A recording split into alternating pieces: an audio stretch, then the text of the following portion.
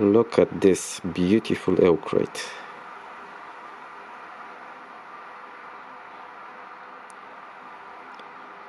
And the best polishing you can get. Polish, polish.